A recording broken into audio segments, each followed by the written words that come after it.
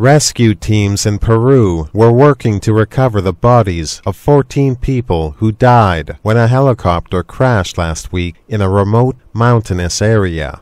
Officials lost contact with the chopper Wednesday in the department of Cusco, which boasts some of Peru's most popular tourist destinations. A search team left a mountain base Sunday on foot and was heading to the remote crash site several hours away.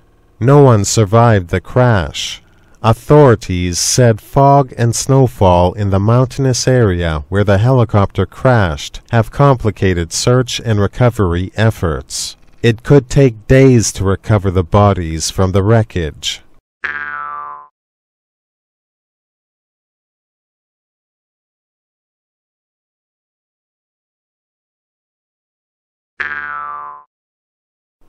Rescue teams in Peru were working to recover the bodies of 14 people who died when a helicopter crashed last week in a remote mountainous area.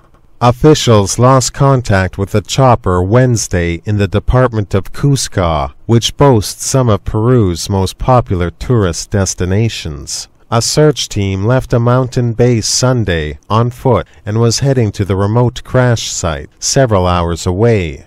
No one survived the crash. Authorities said fog and snowfall in the mountainous area where the helicopter crashed have complicated search and recovery efforts. It could take days to recover the bodies from the wreckage.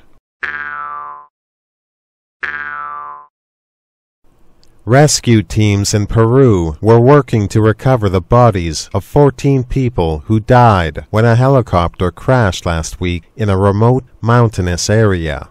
Officials lost contact with the chopper Wednesday in the department of Cusco, which boasts some of Peru's most popular tourist destinations. A search team left a mountain base Sunday on foot and was heading to the remote crash site several hours away.